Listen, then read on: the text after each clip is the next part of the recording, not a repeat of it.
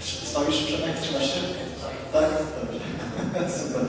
E, Jak przyspieszyć 100 razy cokolwiek? W ogóle to można by podmienić te słowa na wszystko inne i każdy może być zainteresowany. Przyspieszenie czegokolwiek o 100 razy to jest dla mnie jakiś wow. E, Więc fantastycznie, że mamy taką prezentację. Mm, Napisałeś tutaj, że e, prowadzisz kanał ten typ telefon. Dokładnie. Na YouTubie. Tak. A, tak. Zapraszam serdecznie. To zapraszamy serdecznie na kanał e, Przemka. No dobrze, i Przemek opowie o tym faktycznie, jak przyspieszyć Google Query 100 razy. Mam nadzieję, że będzie ciekawie. Tym razem wracamy do formuły 25-minutowych prezentacji, więc dużo mięsa. Mam nadzieję. Powodzenia Przemek. Wielkie, wielkie brawa. Na zachętę.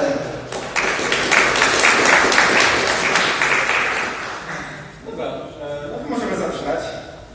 E, Myślę, że niektórzy mnie znają. e, Jestem deweloperem w Podniebiej od, kilu- od 8 lat praktycznie. I Dziś, dzisiaj chciałbym się podzielić z Wami use case'em, który myślę, że pozwoli Wam e, zoptymalizować działanie Waszych stron. No, oczywiście zdaję sobie sprawę, że przyspiesz o 100, query o 100 razy jest czymś abstrakcyjnym i brzmi jak e, marketingowa gadka, ale to są przykłady z życia naszego, no po prostu z życia projektu. E, Jakbym mógł, to bym wkleił całą wypowiedź Maćka Pawłowskiego od samego końca, że wszystko zależy, to jest e, dobre określenie, E, ale po prostu dajcie szansę temu, zobaczycie, czy to może zadziałać u Was. Ogólnie zacznijmy tak. E, Według raportu przygotowanego przez firmę Deloitte, która się zajmuje generalnie audytami itd., e, można stwierdzić, że naprawdę milisekundy potrafią zrobić miliony. Jakkolwiek by to nie brzmiało, na podstawie danych zawartych w tym raporcie, to może być prawda. Bazując na tych danych, e, okazało się, że nawet e, redukcja o 0,1 o 0,1 sekundy czasu ładowania strony no, przełożyło się na wzrost 10%, pro, o 10% jeśli chodzi o konwersję. Także to już w przypadku dużych pieniędzy, dużych projektów, to już jest bardzo dużo. E, Tu mamy przykład e, z akurat omawiający temat e, strony Pfizera e, i tutaj przyspieszenie strony o 38% e, przełożyło się na e, obniżenie które opuszczają stronę e, bez żadnej akcji o 20%.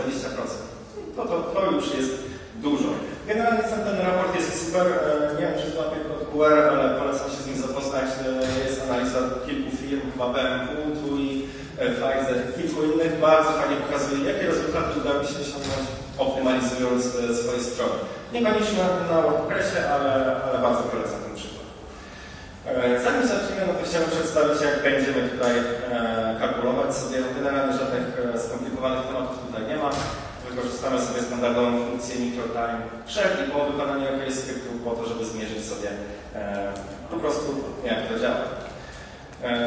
Jakie, są, jakie były warunki testowania? Na jaki był przykład? No, my pracowaliśmy na bazie danych, która ma 2 miliony wpisów no i dużo więcej innych rzeczy Także to jest dość duża baza i zdaję sobie sprawę, że nie wszystkie strony e, na WordPressie obsługują coś takiego. E, Ale chciałbym pokazać, że nawet najmniejsze usprawnienie, nawet w małych stronach może się przełożyć na jakiś sukces, e, na poprawienie rezultatów. Tu mamy na przykład właśnie statystyki z Mirelika. To są, to są przykłady optymalizacji, to są przykłady optymalizacji strony, dużo mniejsze niż e, ta wspomniana na 2 miliony postów, ale tutaj e, widać e, moment, w którym zaczęliśmy działać, optymalizując stronę i jak się fajnie nam ta czas odpowiedzi serwera wypłaszczyły. Także to są naprawdę realne przykłady, które u nas się sprawdzają i chciałbym o nich opowiedzieć. Jak to będziemy mierzyć? Bardzo standardowy przykład, czyli pobranie postów z bazy danych za pomocą funkcji WordPressowej, czyli getPost. W tym przypadku weźmiemy sobie 1000 postów. To jest dużo, ale, fajnie będzie pokazywało rezultaty. E, Standardowe pobranie postów e, w przypadku takiej bazy wynosiło 2 sekundy. No i zobaczymy, jakie pytania możemy zadać, co możemy zrobić jeszcze zanim zapiszemy chociaż trochę kodu, e, żeby na poziomie architektonicznym to przyspieszyć. Okej. Pierwsze pytanie to, czy w funkcji, którą mamy stworzyć, tak naprawdę potrzebujemy paginacji. E, WordPress defaultowo, a defaultowo, podczas wykonywania standardowych zapytań wykorzystujących WP-query albo po prostu funkcję getPost dodaje e, taki statement SQL call found do SQL-a po to, aby móc móc ogarnąć paginację na stronie. Czyli na przykład jakbyś dany komponent gdzieś na dole z kolejnymi stronami, to dzięki temu WordPress jest w stanie ogarnąć, ile mamy tych stron maksymalnie na podstawie danego query, po to, żeby wyświetlić tą paginację. No i możemy założyć, że tworzymy jakiś feature, powiedzmy wyświetlający jakiś widget z listą linków na stronie. Nie. Powiedzmy, że tutaj abstrakcyjnie ma wyświetlić 1000 linków. E, Ma być to tylko 1000 linków, nic więcej. Nie potrzebujemy żadnej paginacji następnej strony czy coś. Więc możemy po- poinformować worka, że w zasadzie to jest nam niepotrzebne za pomocą tego jednego prostego argumentu. Ustawienie go na false, on domyślnie jest właśnie na true, sprawia, że nie wykonujemy dodatkowych operacji potrzebnych do ogarnięcia paginacji, bo nam to nie jest potrzebne. Co przełożyło się na 20% na redukcję czasu wykonywania tego skryptu o 20%. No bo zmniejszyły się operacje na bazie, przy co jest widoczne szczególnie w przypadku dużych projektów. No 20% na tak prostej rzeczy, która tak naprawdę robi to, co my chcemy, no to już jest bardzo dużo. E, Inny, inny przykład e, na poziomie architektonicznym, nawet designu, czy przed rozpoczęciem pracy nad jakimś szablonem. Załóżmy, że mamy standardowy archiwum z linkami do strony. Zwykle klasycznie się wrzuca paginację, mamy pierwszą, drugą i ostatnią stronę. No i ta, ten, ten element sprawia, że my możemy faktycznie widzieć, że mamy ostatnią stronę 99. No ale jeśli na przykład wiemy już na początku projektu, że budujemy coś dużego, że tam będzie duży udział, e, że będzie duży ruch na stronie, dużo postów i tak dalej, no to możemy już stwierdzić, że dobra, wiedząc, że my domyślnie, nie korzystając z takiej paginacji, możemy przyspieszyć query o 20%, no to spróbujmy zmienić ten projekt tak, żeby tego 20%, żeby je zyskać. No i jakimś jednym z przykładów jest albo implementacja lazy loadingu, który automatycznie będzie e, wyładowywał posty, co teraz jest bardzo popularne, szczególnie w socialach, e, albo e, po prostu dodanie zwykłego przy- przycisku następna strona. Ok, w jakimś pewnym momencie będziemy musieli natrafić na to, że tej danej strony nie ma, bo nie wiemy ile ich faktycznie jest, ale to też można załatwić na przykład odpowiednio projektując stronę 404. Wydaje mi się, że jeśli chodzi o takie duże systemy, no to to nie będzie akurat problem. No i w tym przypadku, no właśnie, tworzenie prostych architektonicznych decyzji, które nie są jakieś kluczowe dla użytkownika końcowego, a nawet w tym przypadku poprawiają e, experience przez to, że dodajemy tam lazy loading i automatyczne ładowanie, no sprawia, że domyślnie dla tego query e, po prostu przyspieszamy system o 20%. I okej, możecie myśleć, że to jedno query to tam 20% nic nie zrobi, no ale pamiętajmy, że to jest tylko jedno główne query na stronie. Dodajemy pluginy, jakieś widgety, każdy jakieś tam query sobie będzie robić dodatkowe. Także finalnie, szczególnie w dużych systemach, no nie w dużych, tylko w zasadzie w każdych, co dokładamy, no to dodaje się coś nowego do tego czasu odpowiedzi serwera, i finalnie to się może przełożyć na duże sprawy. Także to jest, e, tu mamy pierwszy. Drugi, to dość prosta sprawa, to jest po prostu poproszenie WordPressa o dokładnie to, co potrzebujemy, a nie to, co potrzebujemy jeszcze trochę. E, W tym przypadku, gdy wykonujemy operację WPQR, znowu korzystając z klasy albo z funkcji, domyślnie dostajemy kolekcję obiektów WPGOS. No nie zawsze jest to potrzebne. Może być sytuacja, w których abstrakcyjnie potrzebujemy na przykład samych ID. No, możemy to zrobić po prostu informując samą QS, że potrzebujemy tylko ID. E, To jest natywna funkcja, tu można podać kilka parametrów, e, kilka wartości w zależności od potrzeb. No ale e, w naszym przypadku dodanie po prostu zwykłego, poproszenie o to, że my chcemy tylko ID i nic więcej, sprawiło, że z tych 2 sekund zrobiło nam się 0,01 sekundy. No powiedzmy 0,2, że 0,02, żeby zaokrąglić. No to tu już jest boost no, bardzo duży. E, Dało nam to w systemie mm, usprawnienie o 122 razy. To już jest dużo. E, ok, możecie powiedzieć, kto potrzebuje na tylko ID, to, się przydaje tylko w jakichś specyficznych case'ach. No, tu się jak najbardziej zgodzę, ale możemy zrobić z tym coś więcej. Jeśli piszemy e, w zależności od tego, jakie mamy potrzeby, można, nie będziemy pisać komponent, który akurat tylko potrzebuje jakiegoś meta. E, załóżmy, że liczba postów, o, e, liczba wyświetleń danego posta, bo po prostu takie są wymagania i coś tam musimy z tym dalej zrobić. No to standardowo każdy przyszedł, napisałby e, funkcję getPost, pobrał sobie e, meta w, w, w foliczu i elegancko, wszystko jest. No ale znowu, spróbujmy sobie to zmierzyć. E, w tym przypadku pobranie samych ID-ów z bazy a następnie iterowanie po nich i pobranie ich meta jednego, no przełożyło się na znowu kolejne duże usprawnienie. E, Dało nam to 0,67 sekundy w porównaniu z tymi dwoma, które były domyślnie. Tu jest ważne do dodania, że to nie jest jakieś super perfekcyjne rozwiązanie, które zawsze będzie działać. No, to nie da się tego zrobić, bo im bardziej będziemy mieli skomplikowane query, tym to będzie gorzej działać. Jeśli na przykład e, podejmiemy decyzję, że będziemy musieli zrobić jakieś bardziej skomplikowane metaquery, albo chociaż dodać e, analizy taksonomii, no to ten czas, który uzyskaliśmy wcześniej, czyli to 0,67, no to może się zmienić, no bo to jest normalne, WordPress nie sprawdza tylko jednej tabeli, tylko musi już zrobić joiny do innych. No wiadomo, zajmuje czas, także to nie jest idealne rozwiązanie, ale u nas się bardzo fajnie sprawdziło e, w customowym rozwiązaniu, które robiliśmy i naprawdę boost był bardzo fajny. Co mamy? E, trójeczka. Czy potrzebujemy e, filtrować rezultaty w jakiś sposób? To jest jeden z najciekawszych case'ów. To jest sytuacja, która największy boost nam dała w takich większych projektach, których się nie spodziewaliśmy. Generalnie planowanie architektury danych podczas tworzenia oprogramowania no, nie zawsze jest takim standardowym nawykiem. Zwykle to jest tak, że e, mamy jakieś tam dane do wyświetlenia, których nie ma normalnie w WordPressie, no wiadomo, gdzie lecą, lecą do postmety i, i elo, nie? Jakoś tam damy radę. No to jest ok, podejście, no ale no, nie zawsze to będzie działać. No, jednak czasem jak budujemy tym bardziej e, duże systemy, no musimy zrobić to tak, żeby to dobrze działało, więc no, trzeba by to jakoś inaczej zaplanować. Także jednym z kroków, które wykorzystujemy do optymalizacji naszych systemów jest po prostu e, wykorzystanie taksonomii do filtrowania postów zamiast e, wykorzystywania standardowej mety.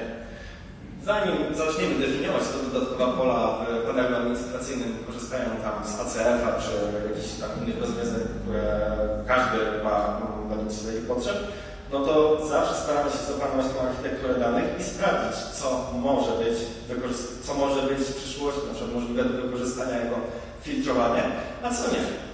Bo wykorzystanie, wykorzystywanie mety dla e, danych, które powinny być tylko i wyłącznie wyświetlone, jest ok, nie ma z tym nic złego. To jest standardowy proces i, jak najbardziej może to być. Ale jeśli te dane będą musiały być wykorzystane do wyszukiwania, no to może być problem. Jak to zrobić? No, można to robić na kilka sposobów. Jeśli budujemy customer development i dlaczego nie korzystamy z ACF-a, no to po prostu można sobie w jakiś sposób napisać dodatkowe mapowanie e, wartości podanych w inpucie do, do taksonomii. To jest trochę dodatkowego kodu, tutaj o tym nie będę mówił, e, ale jeśli korzystamy z ACF-a, to jeden prosty klik tak naprawdę. Podczas definiowania pól, zanim e, zdecydujemy się wykorzystać standardowe pole tekst na jakąś informację, to zastanówmy się, czy możemy je wykorzystać do, e, czy powinniśmy je wykorzystać do filtrowania. Jeśli tak, to zamiast pola tekst możemy wykorzystać pole taksonomii z opcją Save Text prawdopodobnie ustawioną na True. Dzięki temu na podstawie tego, co użytkownik wpisze e, w polu tekstowym, ACF automatycznie doda taksonomię, podepnie ją do e, tabel klasowych związanych z taksonomem i będziemy mogli na podstawie tego zrobić e, po prostu query po taksonomii. To jest standardowe pole taksonomii w ACF, także w dokumentacji wszystko jest ładnie opisane, możecie sobie zerknąć. Jak tutaj wygląda porównanie czasów? E, załóżmy, że w naszym przypadku będziemy wykorzystywać atrybut sport jako e, informację o, e, no po prostu post należy do jakiejś tam grupy sportów i na podstawie tego pola wyświetlamy go w odpowiednim archiwum albo w jakimś budżecie, no mniejsza. Generalnie analizujemy tutaj, robimy request wykorzystując MetaQuery. No i w przypadku tak dużej bazy odpowiedź na środowisku Stadium prawdopodobnie, no to trwała już 9 sekund. No każdy wie, że MetaQuery może być wolna i to jest super przykład Jak to wygląda w przypadku taksonomii? Wykorzystując taksonomię, zmniejszyliśmy 3 razy czas wywoływania skryptu, czas wykonywania tych operacji. No, 3 razy przyspieszenie systemu tej jednej części, no to już jest bardzo dużo, szczególnie w przypadku dużych systemów. Mówimy tutaj o tych 2 milionach postów, ale to może mieć wpływ nawet na najmniejsze strony. Teraz możemy sobie zadać pytania, dlaczego? Czy to jest jakiś magiczny sposób, czy, co tam się dzieje? No, odpowiedź jest prosta i możemy sobie wyobrazić to jak wizytę w bibliotece. Czytając książkę i poszukując jakichś informacji, e, Jeśli byśmy e, tak jakby wykorzystywali meta-query do znalezienia jakichś informacji w tej książce, no to no trudno, musimy przewertować całą książkę i znaleźć sobie to jedno miejsce, które zawiera nasze te informacje, które my potrzebujemy. Tak działa meta-query. Jeśli bierzemy taksonomię, no to taksonomie są szybsze ze względu na to, że są indeksowane. Czyli możemy to porównać do sytuacji, że potrzebując jakiejś informacji idziemy na spis treści, szukamy, mamy strona 1, 2, 3, wbijamy mamy o wiele szybciej. No to jest prosty sposób, e, ale właśnie na takiej zasadzie to działa. Jak sobie zerkniemy, e, jak jest zbudowana tabela obrazowa e, term relationships, która przechowuje te informacje, no to widzimy, że kluczem jest że indeks jest stworzony indeks No i taksonomii. Ze względu, to jest tak jakby taki spis treści. Dlatego w naszym przypadku MetaQuery jest dużo wolniejsze od taksonomii. I to jest jeden naprawdę prosty trik, e, który po wykorzystaniu go naprawdę usprawni nam działanie w wielu systemach. No co na przykład potwierdza ten, ten pierwszy wykres, który mieliśmy z tymi rezultatami. Oczywiście te rzeczy to były, mm, to nie były wszystkie, które zrobiliśmy w tym czasie, ale miały naprawdę na pewno dużo, duży wpływ na rezultaty. E, warte wspomnienia jest to, że no, nie zalecamy wykorzystywania tego do wszystkiego. Takie rozwiązanie działa, jeśli chodzi o architekturę danych, działa dobrze dla zbiorów skończonych, czyli na przykład mówimy tutaj o sportach. No, jest określona liczba sportów, powiedzmy, że jest 200 i okej, okay, jeśli dochodzą, to one dochodzą rzadko. Zawsze ten zbiór jest jakiś tam skończony. Jeśli byśmy mieli na przykład filtrować albo podpinać, robić query na podstawie zawodników, no to już jest większy problem, bo liczba zawodników jest, no okej, okay, też może być skończona, ale nikt tego nie wie, zawsze dojdzie nowe i te informacje cały czas aktualizują, cały czas jest dużo, więc takie rozwiązanie do tego typu atrybutu no nie za bardzo będzie działać. Ok, jeśli zbiór zawodników w naszym systemie jest skończony i będzie, będziemy mieli kontrolę nad tym, to ok, można to spróbować wykorzystać, ale jeśli nie, jest to sprawa bardzo dynamiczna, to trzeba uważać, bo, bo po prostu zapramy tabelę z taksonomiami i, no i będzie po prostu więcej roboty. Dodatkowo trzeba też, to muszę też wspomnieć, że szczególnie dla dużych systemów, w małych systemach ten problem nie będzie widoczny, ale jeśli pracujemy na taksonomiach, to WordPress domyślnie w korze właśnie w tym miejscu e, uruchamia funkcję update term count. To jest generalnie potrzebne, w sumie nie jest tak typowo potrzebne dla działania WordPressa, ale jest przydatne po to, żeby na przykład wyświetlić w admince informacji, że no dla sportu tam futbol będziemy mieli tam aktualnie w bazie podpiętych 200 e, postów. No i okej, ta lista taksonomii jest mała, to działa fajnie, fajnie i szybko. No ale my tu mówimy o, w naszym przypadku baza miała 2 miliony postów. Więc doszliśmy do momentu, że tak dużo tych postów zostało, było tworzonych, tak dużo tych taksonomii było analizowanych, że zwykłe, zwykła aktualizacja postów w admince, kliknięcie update trwała nawet 20 sekund. Ze względu na to, że WordPress właśnie w tym miejscu pobiera sobie wszystkie posty, analizuje i próbuje ogarnąć, ile e, jest podpiętych do tej taksonomii. Jeśli coś się zmieniło właśnie w taksonomii. No i to trwało wieki i to potrafiło zamknąć system tak, że no, nie dało się na tym pracować, bo powiedzmy było, e, był zespół e, content editorów, było ich pięciu, każdy sobie pracował na stronie, każdy aktualizował, no i wszystko się wywalało.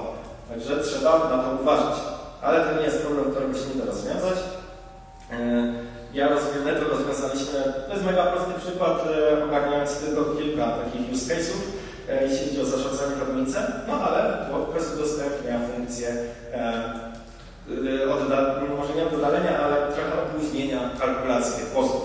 Moje może być to zrobione za pomocą funkcji właśnie primary counting. My się podpinamy tutaj do akcji admin init e, i ogarniamy w tym przykładzie akurat na podstawie akcji edytowania, wrzucania do koszu, kosza czy e, usuwania całego posta.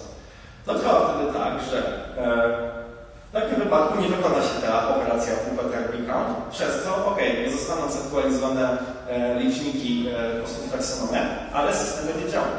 Jak na to weszliśmy? Ok, po pierwsze, nam nie było potrzebna informacja o tym, ile, e, ile jest postów przy przypadku danej taksonomii, ale żeby nie, po prostu nie popsuć tego, co jest domyślnie, zrobiliśmy to w taki sposób, że tutaj dopisaliśmy trochę kodu mm, w tym miejscu, e, sprawiającego, że taki, takie, taka akcja przeliczania na przykład odpalała się raz na dzień albo raz na tydzień. Postów dziennie przychodziło około 6 tysięcy do systemu, więc w sumie raz na dzień to nie był żaden problem, szczególnie jeśli tego nie wykorzystywaliśmy. Można sobie to opóźnić w taki sposób i napisać tylko już customowe rozwiązanie analizujące to, kiedy nam się faktycznie te przeliczanie ma e, uruchomić. E, I tutaj ważny temat.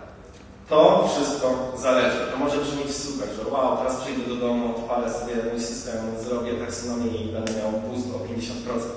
No nie, to wszystko jest zależne od tego, jaki mamy projekt, jaka jest architektura danych i generalnie no, po prostu jak, e, jak jest zbudowany. Nie dam Wam tutaj, e, to nie jest rozwiązanie w stylu zawsze używajcie tego, bo to zawsze będzie do Was działać, bo tak nie będzie.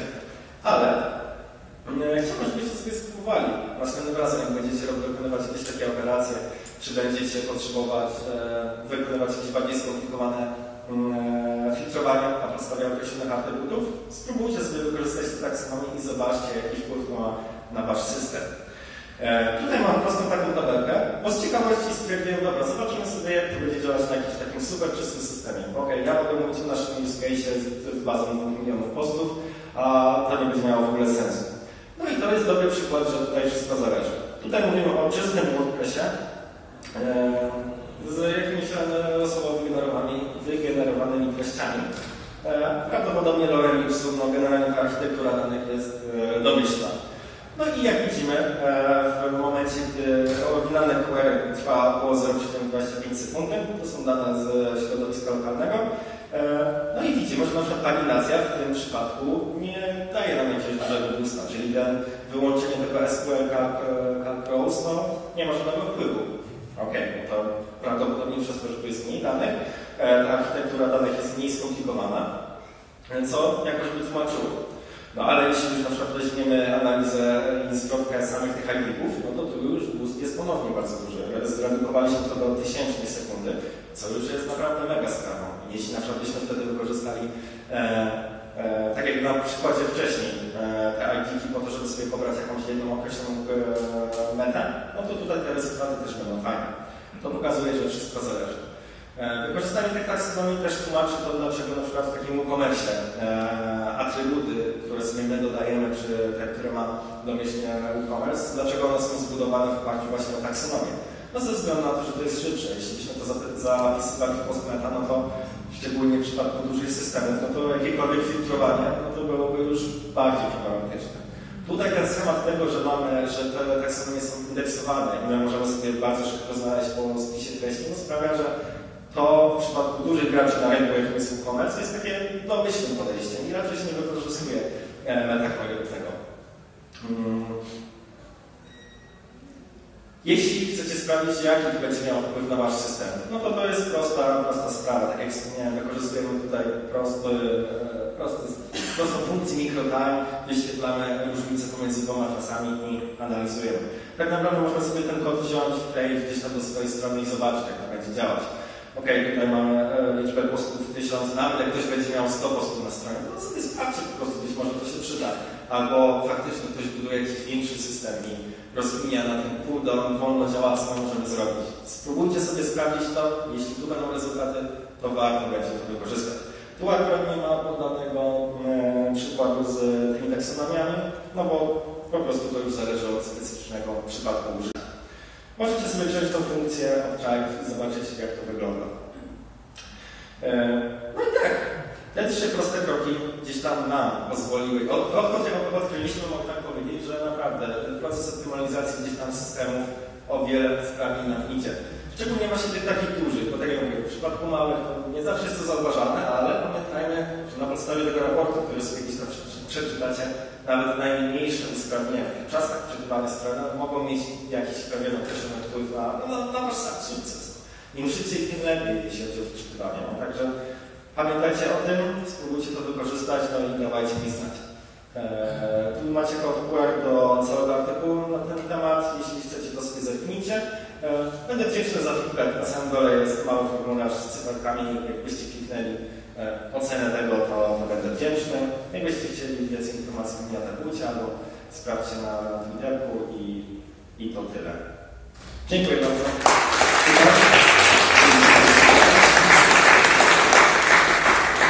To atakujemy przed Cześć. Dzięki. Super prezent.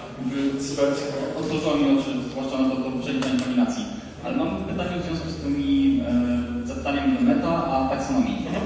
E, To był przykład, to był przykład na jakby prawdziwej stronie. I Tak. Dobra, to teraz przy takiej ilości postów meta prawdopodobnie ilość tam szła w setki milionów tych, tych rekordów meta. Z tego co pamiętam, może nie setki milionów, bo my i tak już wlecieliśmy bardzo dużo, ale na ten moment może być około 30 milionów wpisów. Niestety. Okej, i teraz jakby do czego zmierzam? Czy zmiana zapytań meta na taksonomię na pewno indeksy miały tam spory wpływ na czas działania ładowania, ale czy ilość rekordów meta też nie miała, bo te tabele taksonomii na pewno się nie zapychają tak mocno jak meta. Mhm. I teraz czy, czy sprawdzaliście to, czy ilość tych elementów meta też jakby wydłużało czas? Ale w tabeli taksonomii czy w... Nie, meta. W sensie, czy, no tutaj mówię, meta się zapycha strasznie szybko. Tak, tak, tak. tak. I teraz wiesz, mówię, bo były tam setki milionów zapytań, na pewno muszą zwolnić. I teraz czy przełączenie na taksonomię y, miało realny wpływ na szybkość, bo po prostu taksonomia jest znacznie mniejsza, znacznie mniejsza ilość danych niż meta, czy to kwestia tylko indeksu? E, powiem Ci, że chyba takich testów nie przeprowadzałem, jak to wyglądało, ale... E, jasne, jasne. E, mam? Dobra, dobra.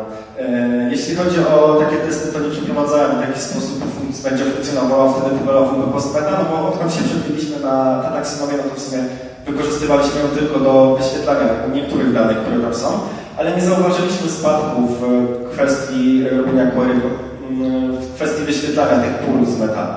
Także tam raczej pól był niezauważalny, a przez to, że było ona mniej wykorzystywana, no to przełożyło się to na wpływ performance'u w takim ogólnym, w takiej ogólnej ocenie.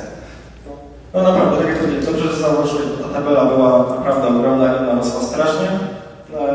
No i to jest jeden ze sposobów właśnie rozwiązania tego problemu.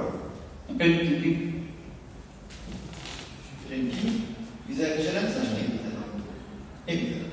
No to super. Tradycyjnie. Gratuluję. Brawa.